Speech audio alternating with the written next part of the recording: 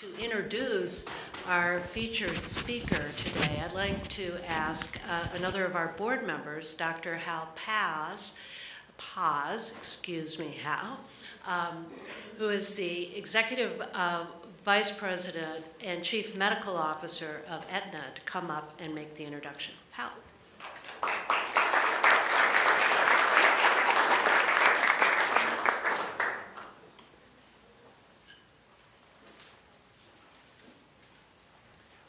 Afternoon, and thank you very much, Mary, for the kind introduction. It is now my great privilege to introduce our next guest speaker, Kathy Bates. Ms. Bates is an Academy Award-winning actress, advocate, and spokesperson for the Lymphatic Education and Research Network, an internationally recognized nonprofit fighting lymphedema and lymphatic disease through education, research, and advocacy. On the screen, she's known for her roles as Annie Wilkes in Misery, the unsinkable Molly Brown in Titanic, and more recently for the characters she played in American Horror Story. Off screen, Ms. Bates tirelessly raises public awareness about lymphedema and lymphatic diseases. Ms. Bates is among the estimated 10 million Americans living with lymphedema. As a Lymphatic Education and Research Network spokesperson, she actively engages with patients, policymakers, media, and the scientific community, speaking directly to researchers at scientific conferences and meeting with leaders of the American Medical Association about the importance of lymphedema education during medical school and medical training. Ms. Bates met with Senator Charles Schumer last year to advocate for federal funding for lymphedema and lymphatic disease research, which led to Senator Schumer submitting a request to the Senate Labor-H Appropriations Subcommittee in support of lymphatic and lymphedema research for fiscal year 2017. So now, please join me in welcoming Ms. Kathy Bates.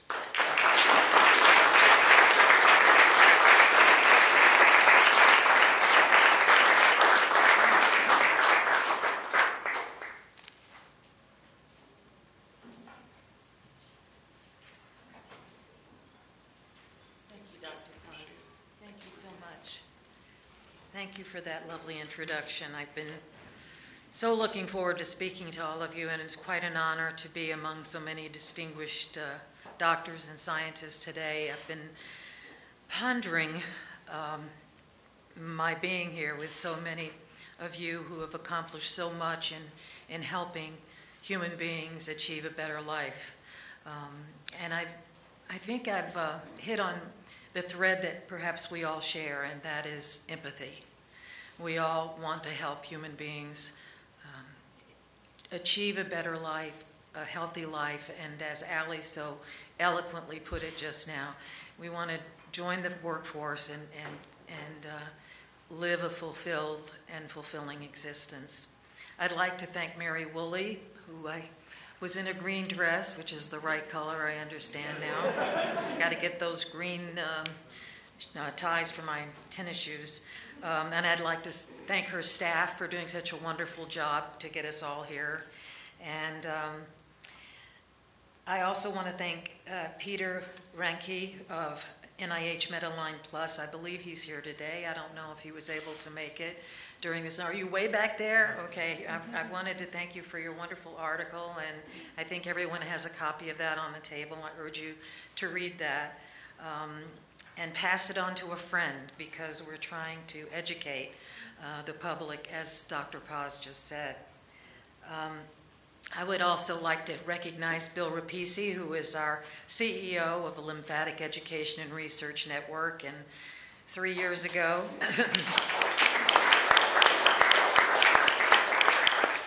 um, my doctor, Emily Iker, who treats me for lymphedema, um, uh, introduced me to Bill, and he got a tooth around my ankle, a couple of teeth around my ankle. And so um, I'm here directly because of Bill. I would also like to thank and, and, recognize Nancy Gray of the Gordon Research Conference for, for so generously letting me speak at the conference last year and opening the door for patients uh, to come and speak to researchers. Um, And I would also like to recognize Dr. Stan Rockson, who couldn't be today, couldn't be here, of the uh, Stanford Center for Lymphedema and um, Venous Disorders.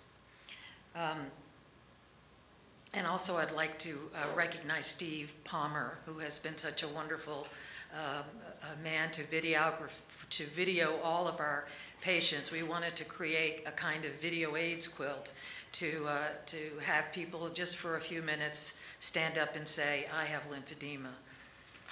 Um, I have lymphedema, and I developed it in both arms um, shortly after a double mastectomy. Um, I didn't realize at the time how difficult it would be to find treatment. Um, my surgeon was very focused, as he should be, on curing me of cancer, as he told one of my family members, if I didn't survive, lymphedema wouldn't be an issue. Um, so it took a bit of time to find Dr. Iker and uh, to get treatment, although I was very lucky. Um, and Allie, I commend you for all of your remarks today. Um, you said many things that I wanted to say and more, so I want to uh, talk to you later about your advocacy because I think you're much further along than I am. Um, lymphedema, um, or LE as we call it, um, or and we refer to ourselves as lymphies. We, it's incurable and it causes painful and disfiguring swelling throughout the body. It's caused by fluid buildup due to damage in the lymphatic system. And my LE is, is uh, not so noticeable because I was able to find and afford the treatment right away. I don't have to worry about insurance like so many millions of others do. Um, but I am at risk for cellulitis, um, as all um, people who suffer from LE are. And uh, I was, in fact, hospitalized where I was so surprised I thought, oh, well, it's just in my arms. But suddenly I had a big red spot on my forearm and I had to go into the hospital for treatment. The doctors there didn't know what the heck it was and they started treating me for all kinds of exotic, you know, diseases and infections. And I got very ill after one of their experimental antibiotics. So, so much for that. Um, 10 million Americans suffer from lymphedema. That's more than MS, muscular dystrophy, ALS, Parkinson's, and AIDS combined. But nobody knows about lymphedema.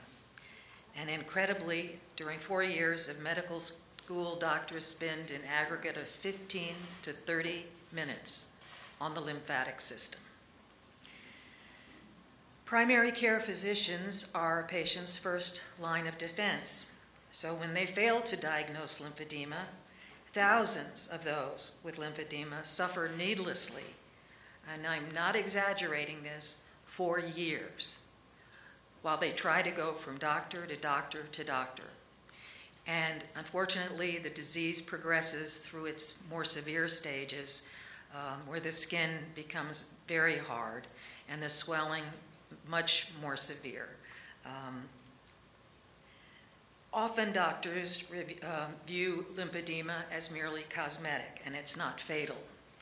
But the lymphatic system is compromised and infections can lead to more serious complications like sepsis, which are life-threatening. Becoming the spokesperson for the Lymphatic Education and the Research Network three years ago at times has been very frustrating because there's so much lack of knowledge in the public and especially the medical community. But we receive emails from Lymphies from all over the work now. We, world now. We have um, nine chapters here in the United States. We even have a chapter in India. We have uh, three international chapters. People are beginning to hear about us, and it's very rewarding to read those emails, and it gives us a sense of hope. They suffer daily, often with terrible physical and emotional pain. But as Argentinian composer Osvaldo said, it's a paradox. By trying to kill the human spirit, the answer of the human spirit is to revenge with beauty. And as I meet these people one after another, to me, they're beautiful in the way they have faced this disease with courage and have encouraged others who face this disease with their inspiration with their words and with the way they live their lives. So I wanted to just share a few of those stories with you today. There's so many people I could tell you about, and I wish I could tell you about all of them. But um, one of the first we met was Andrew Mata. Uh, he's from Ontario, and he was studying to be a pharmacist. He was very young, in his 20s, and he woke up one morning, and the, his ankle was swollen the size of a grapefruit, and he didn't know what the heck was wrong with him. And he spent six months crawling back and forth in his apartment and on the computer trying to figure out what was wrong. And finally, he discovered that it was lymphedema. And he went to Italy for a, uh, an experimental operation. And at the end of that excruciating experience, they told him it would take five years to know whether it was effective or not. But his painful journey has given him the gift of being acutely sensitive to human beings that he meets in his work. And for example, there was a woman who used to come into the pharmacy, because he did become a pharmacist, and he, he manages his lymphedema by wrapping his leg every day. And there was a woman who used to come in the pharmacy that drove everybody crazy.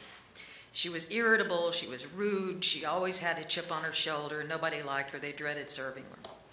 And one day Andrew met her and he began to talk with her and lo and behold, he discovered she was suffering from lymphedema. And when he shared her story, when he shared his story with her, it, it, was like this carapace fell away from her, and who she really was emerged. And she was able to share with him the pain that she was going through, and he was able to empathize with her, and it changed her life.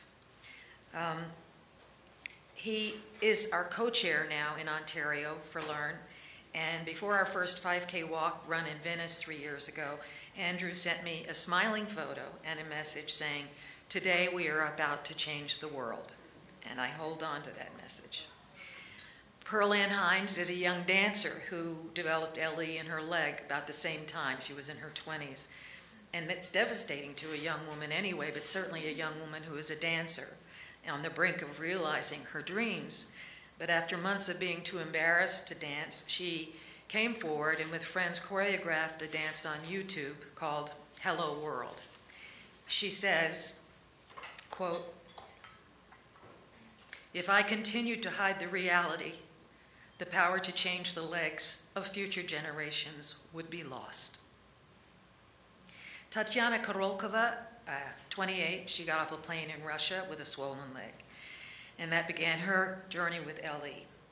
She wrote to us saying, I've seen a doctor here in Russia who told me the disease is not so bad since one is not dying from this. There was a doctor who called me selfish for thinking about yourself only when there are people living without arms or legs.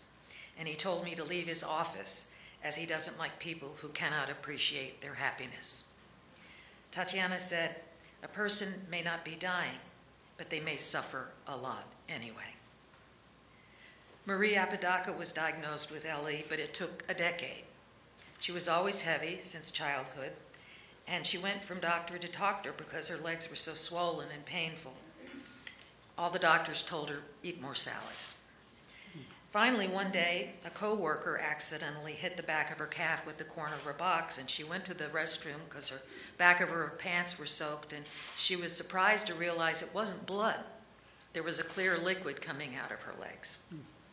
But when she, um, then, then she began to find the right doctor and the right treatment, and it took quite a long time. And it, at one point, she had, uh, there was such a diff difficult infection in her leg that there was some question of whether she could save it or not. But she did, and she still suffers from lower extremity LE, but she refuses to be interred, deterred or interred.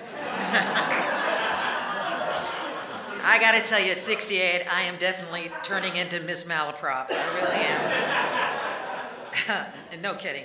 Um, Incredibly, though, she has now become a fan of 5K walk runs. I went to one with her.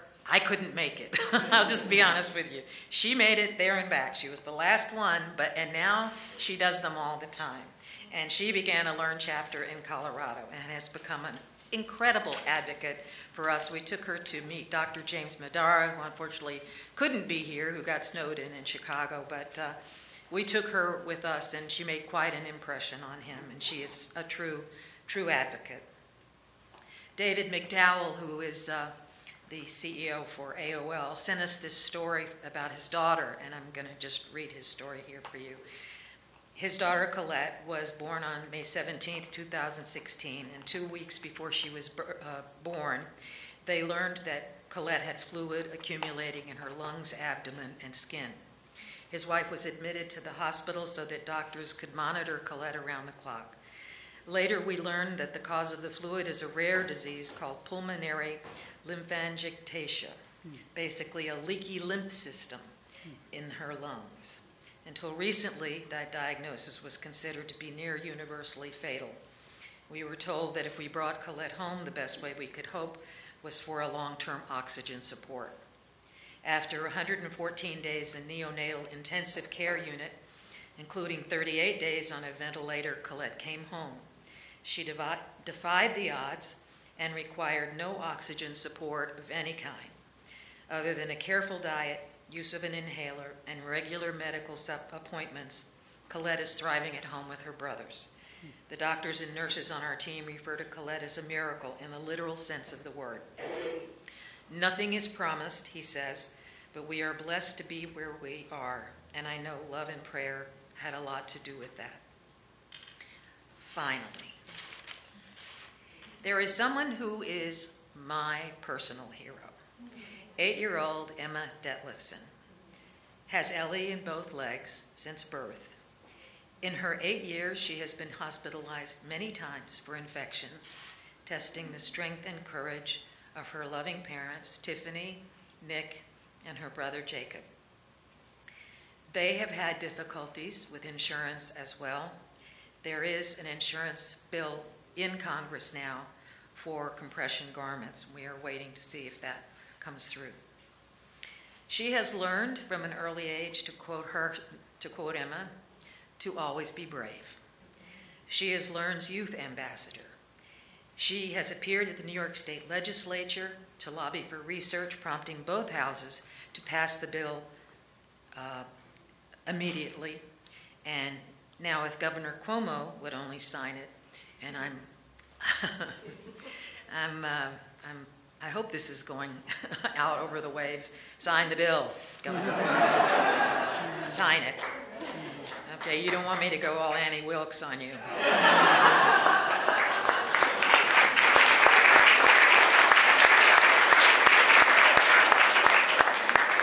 However, all of this has not stopped Emma from becoming the New York State Youth Ambassador for Learn. She raises funds for research, and she has proved herself a most powerful public speaker for our cause. Her bravery and outspokenness inspires all of us with lymphedema to put our physical and emotional pain aside so that we can address the challenges in front of us. Last year, at seven years old, Emma addressed the crowd at the New York Walk to Fight Lymphedema and Lymphatic Diseases.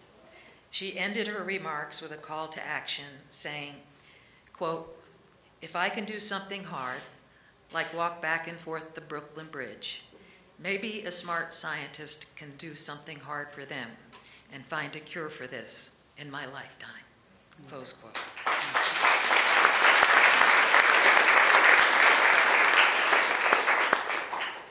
Emma and her family are here with us today. I'd like them all to stand and be recognized.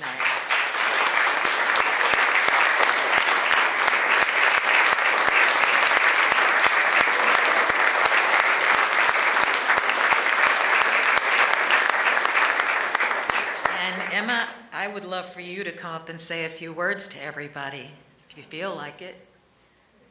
I don't know if you're able, going to be able to reach the microphone, so you may have to.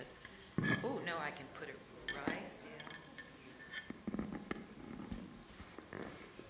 Everybody, this is Emma Detlefson.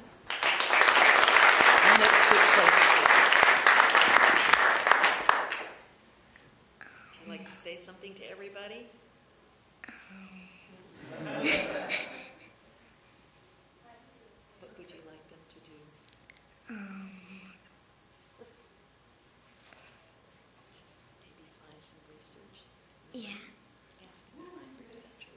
research.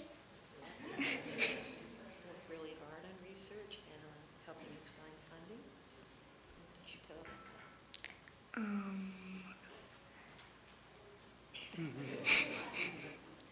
um, Would you like me to say that for you? Yeah. all right. So Emma and I um, would like for you all to spread the word about lymphedema. Um, and to help us recognize how difficult it is for millions uh, to come out of the shadows and even say they have this disease.